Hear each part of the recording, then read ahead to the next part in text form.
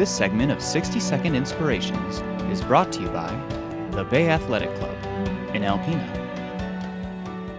After 22 years of an abusive marriage, Lynnette Grzeskowiak finally worked up the courage to leave. She was broken, physically and emotionally.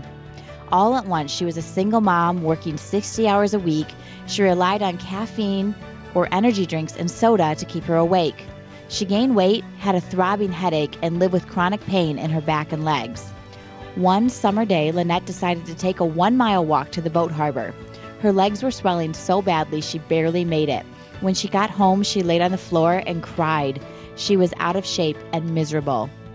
Fate stepped in when her cousin Lori pushed her to join Bay Athletic Club's Fit Buddy Challenge. Lynnette quickly fell in love with group exercise classes. She stopped eating dinner at 11 o'clock at night, cut out all soda, candy, and sweets, and started having a superfood meal replacement shake called Shakeology once a day. In two weeks, she lost 10 pounds. Next, Lynnette signed up for Bay Athletic Club's Thinner Winner weight loss competition and lost another 11 and a half pounds and 17 inches. Lynnette keeps the momentum going with classes and other special boot camps like body beauty strength training for women.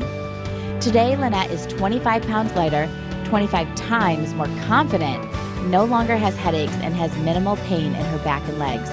She is proud of the physical and mental strength she has developed in becoming a healthy, happy mother that her daughters can look up to. The quote she lives by is one she has heard in classes at the club Be better than you were yesterday. She is living proof that change is possible.